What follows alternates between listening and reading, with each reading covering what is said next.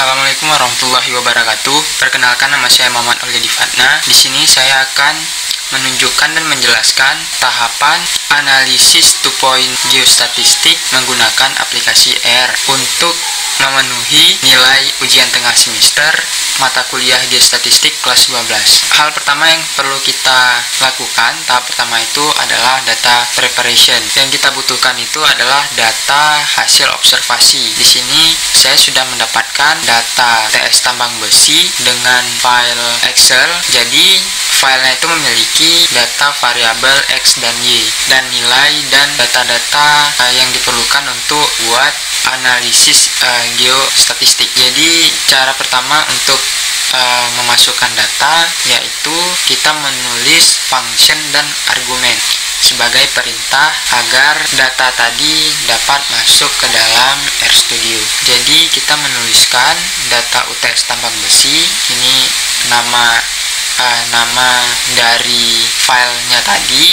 Kemudian sama dengan read excel. Read excel ini merupakan uh, function untuk membaca data excel uh, kita tadi. Kemudian di dalam kurung ini merupakan argumen yaitu C introduction to basic geostatistic using R data UTS tambang besi XLSX uh, ini merupakan uh, lokasi dari file Excel yang bakalan dibaca oleh R. Kemudian kita akan run dengan cara menekan Ctrl Enter pada baris kelima, lain kelima ini. Kemudian dia akan keluar data TS tambang di sini dengan ada 1600 uh, observasi data. Kemudian dari data tersebut setelah di run kita dapat memplot data lokasinya dengan menuliskan function plot kemudian argumennya data UTS tambang besi ini merupakan nama dari data yang sudah kita buat di sini tadi di atas. Uh, kemudian ini ada lambang dolar. Ini lambang dolar ini fungsinya untuk menampilkan untuk memplot memasukkan data X variabel X di pada kolom X di uh, file Excel ke dalam uh, aplikasi ini. Uh, kemudian sama halnya sama juga dengan X tadi untuk memasukkan data variabel Y kita uh, membuat argumen data UTS tambang besi tambang dolar Y. Kemudian kita uh, run, run line ke-8 ini. Ini sudah keluar uh, data lokasi dari tambang besi. Dari data tersebut juga kita bisa membuat histogram variabel nilainya dengan uh, cara membuat function his kemudian argumennya data UTX tambang besi lambang dolar nilai. Jadi di sini variabel yang dimunculkan itu merupakan variabel pada kolom nilai kitaran uh, line 11 uh, ini merupakan histogram dari uh, data tambang besi. Di sini ada persenannya sampai dari 0,1% sampai 0,7% kemudian uh, setelah kita membuat histogram dari variabel nilai dari data tambang besi, tahapan data preparation sudah selesai. Kemudian ke tahapan selanjutnya yaitu tahapan eksperimental variogram. Pada eksperimental variogram ini, di sini kita akan membuat distat object yang mengandung data dan koordinat data dan koordinat pada file sebelumnya. Di sini kita membuat distat uh, ini untuk analisis geostatistik kita membuat gstat gs gs sama dengan gstat uh, ini fungsinya. Kemudian uh, argumennya itu id sama dengan nilai. Ini merupakan label label nama uh, dari dari perintah ini. Nanti outputnya keluar dengan nama nilai labelnya nilai. Kemudian uh, formula ini merupakan data yang akan dianalisis. Secara geostatistik yaitu uh, variabel nilai kemudian tilde satu ini menandakan bahwa uh, nilainya ini tidak terikat dengan uh, tidak ada hubungannya dengan data lainnya. Kemudian locations ini uh, sama dengan x uh, tambah y ini merupakan uh, variabel pada kolom x dan y. Kemudian data data ini uh, yaitu data uh, data dari file Excel tadi data UTS tambang besi. Kemudian setelah membuat uh, geostatnya kita membuat uh, kita menghitung eksperimental variogram. Oh sebelum itu kita run dulu uh, line 20 ini. Kemudian uh, setelah membuat uh, gestat objeknya kita menghitung eksperimental variogramnya. Mengkalkulasi eksperimental variogram. Dengan cara uh, menulis xpvar uh, kemudian fungsinya variogram semua program uh, di sini merupakan uh, geostat gestat yang sudah kita buat tadi. Gestat objeknya. Dan kita run uh, setelah di run kita plot eksperimental variogramnya. Nah ini merupakan eksperimental variogram uh, yang sudah kita buat dari data uh, file hasil observasi. Uh, kemudian uh, setelah mendapatkan uh, eksperimental variogram, kita membuat variogram modeling.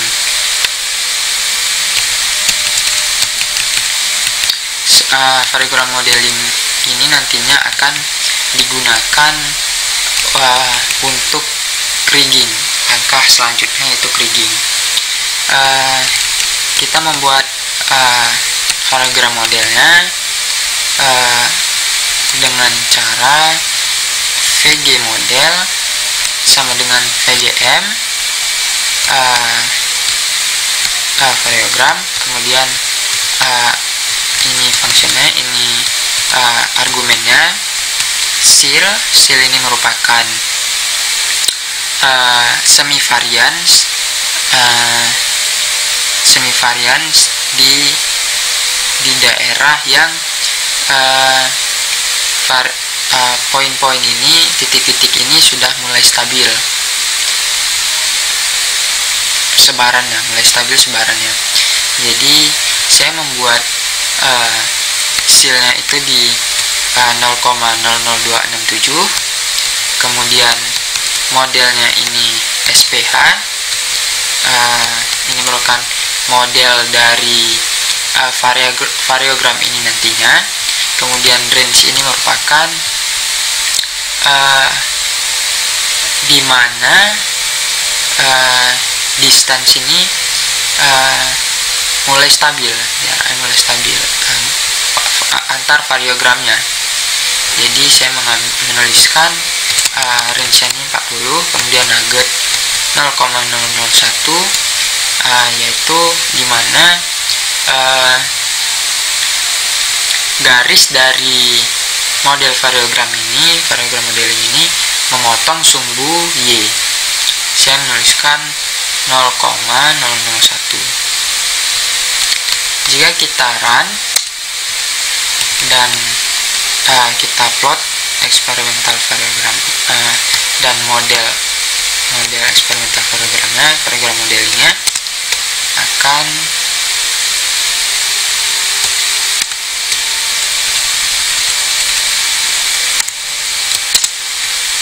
akan muncul uh, seperti ini uh, kedua nah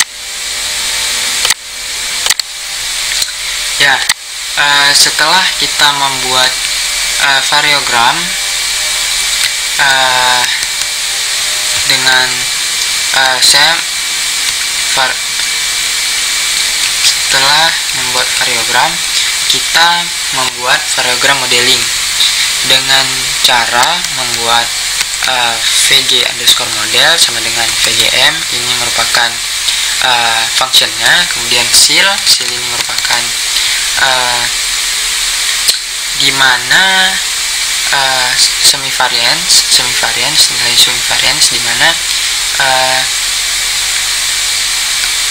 antar uh, titik poin ini uh, sudah mulai stabil. Saya menuliskan angka 0,00245 sebagai nilai silnya kemudian uh, modelnya ini model dari variogram modelnya saya, menggunakan SPH kemudian range uh, range ini merupakan uh, nilai distansnya. Ketika uh, var variogramnya ini sebaran sebaran variogramnya ini sudah mulai stabil. Saya uh, menggunakan uh, nilai 40 kemudian nugget. Nugget ini merupakan uh, di mana uh, garis uh, variogram model ini memotong sumbu Y. Saya uh, menggunakan uh, angka 0,0012 kita enter. Kemudian kita plot. Jadi hasilnya seperti ini. Uh, kemudian di sini ada uh, uh, function. Ada uh,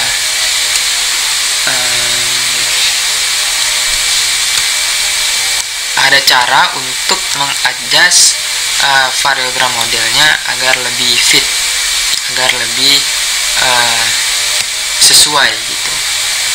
Dengan cara uh, menuliskan komen fit var variogram kemudian eksperimental variogram dan model variogramnya kita uh, run kemudian kita plot hasilnya seperti ini ini otomatis uh, dari uh, aplikasi R nya kemudian setelah itu kita mengupdate Gstat objeknya dengan cara uh, menuliskan gs sama dengan uh, function gstat kemudian argumennya itu id nilai seperti uh, gstat object pembuatan gstat object sebelumnya tapi ini kita menambahkan uh, data baru yang telah kita buat tadi yaitu variogram model. Kemudian kita run. Setelah kita run uh, tahap dari variogram modeling sudah selesai. Jadi kita uh, lanjut ke tahap kriging pada tahap kriging ini uh, data-data sebelumnya akan dipakai untuk tahap ini. Jadi yang pertama itu kita membuat grid uh, untuk riggingnya uh, di sini kita memerlukan uh, data minimal dan maksimal dari variabel x uh, dan y. Uh, bagaimana cara kita melihat uh, data minimal maksimalnya? Uh, kita bisa menggunakan function summary, kemudian uh, argumennya ini data UTS tambang besi, yaitu uh, data uh, data observasi kita. Data awal yang kita miliki data Excel. Kemudian kita run di sini keluar di sini muncul uh, data-datanya nama titik x y nilai kemudian ada minimal ada first quartile median mean third quartile dan uh, nilai uh, maksimalnya.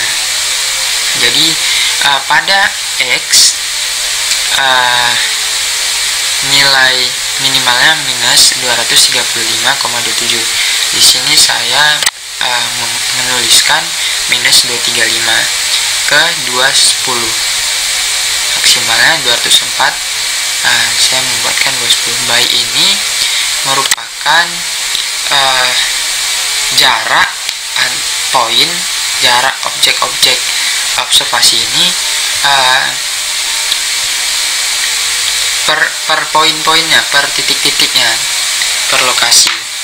Jadi saya membuat jaraknya satu. Di sini kita uh, sama halnya dengan Y. Ini saya start dari 15 ke 125 by 1 juga kita run X dan Y nya setelah itu kita uh, membuat uh, XY gridnya dari hasil XY ini tadi. Kita membuat uh, dari variabel X dan Y uh, kemudian kita melakukan kriging tunggu sampai selesai. Setelah selesai kita sudah mendapatkan data hasil krigingnya di sini berupa nilai predik dan nilai var-nya. Uh, setelah itu oh ya di sini uh, kita menuliskan function predict uh, gs gs ini merupakan uh, file uh, data kita tadi data uh, gstat-nya kemudian uh, grid ini yang kita buat tadi. Grid dari hasil data yang uh, kita buat untuk kriging tadi. Kemudian uh, debug level ini untuk memunculkan proses proses dari krigingnya setelah kita melakukan kriging kita memplot hasil dari krigingnya dengan cara kita menuliskan aux uh, sama dengan hasil kriging uh, lambang dolar untuk memunculkan variabel nilai prediknya dari hasil kriging tadi. Kita run. Kemudian setelah uh, kita run uh, setelah kita plot hasil dari kriging kita bakalan uh, karena has, uh, hasil dari kriging tadi dalam bentuk vektor kita akan uh, kita ingin menjadikan uh, dalam bentuk gambar ke dalam matriks jadi caranya itu kita uh, memasukkan ini uh, memasukkan perintah ini perintah.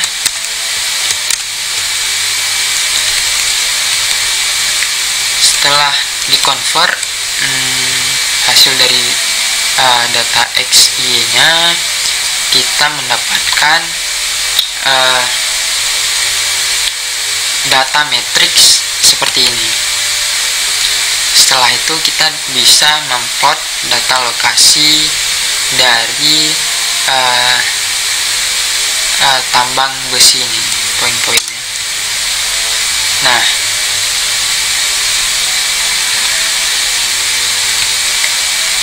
kita juga uh, setelah mendapatkan hasil ini kita bisa menggunakan package-package uh, yang berbeda agar uh, agar uh, apa gambar dari kriging kita terlihat uh, bagus. Kita bisa membuat uh,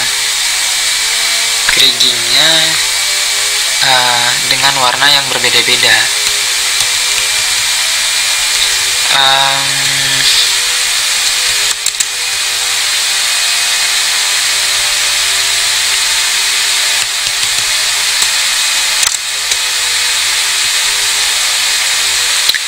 nah untuk uh, memotong data yang tidak diinginkan seperti uh, ini data data-data yang berbeda ini yang, yang kosong ini uh, kita dapat mengcropnya dengan cara melakukan uh, perintah uh, crop seperti ini.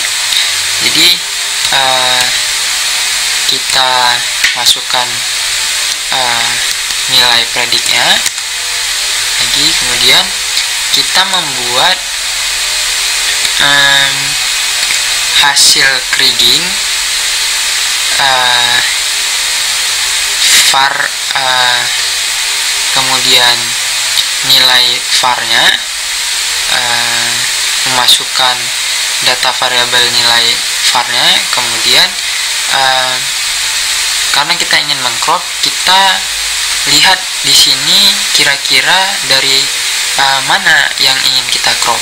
Di sini saya memasukkan 0,0023 0,0023 dari sini. Jadi uh, dia bakalan uh, mengcrop daerah yang tidak kita inginkan. Uh, di sini saya sudah uh, menggunakan package yang warnanya bagus dan sudah crop.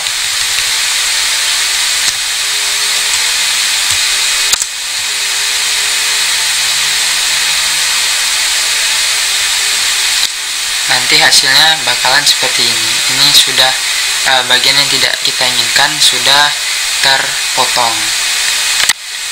Tidak dimunculkan dalam uh, dalam bagian plot ini. Kemudian setelah kita mendapatkan uh, data krigingnya kita dapat uh, dapat uh, ke tahap selanjutnya itu tahap cross validation. Jadi cross validation ini um, fungsinya itu uh, untuk melihat uh, hasil dari kriging uh, kualitas hasil dari kriging kita. Jadi uh, kita uh, menggunakan uh, perintah ini cross file sama dengan di start.cv function. Functionnya ini kemudian gs ini merupakan uh, data kita tadi uh, data yang di atas kemudian envol enrow ini merupakan envol ini merupakan jumlah titik dan enrow ini adalah number of row uh, dari uh, semua sampel yang ingin divalidasi semua sampel data yang ingin divalidasi yaitu data datanya data UTS tambang besi. Kita uh, data UTS tambang besi kemudian kita run ini memiliki, uh, memakan waktu sedikit lama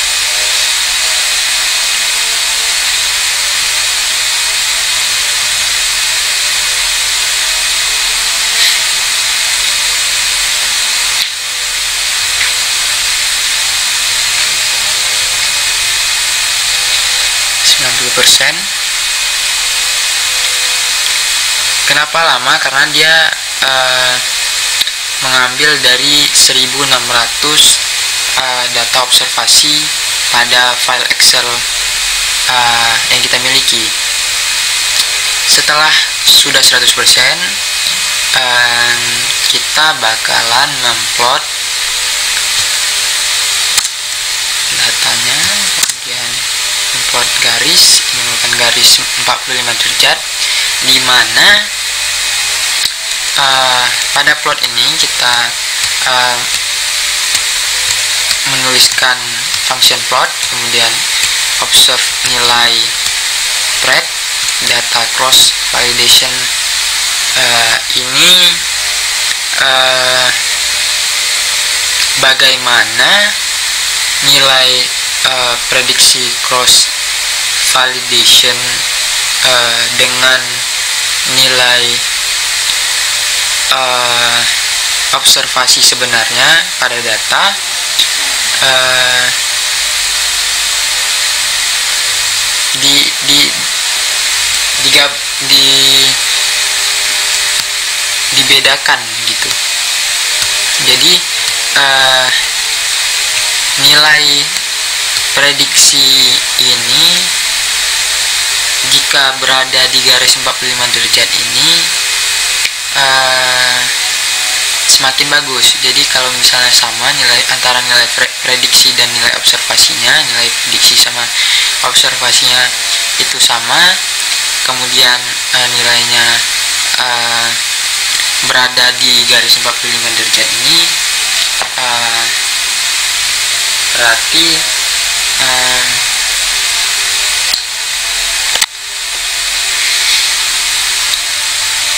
datanya itu semakin bagus.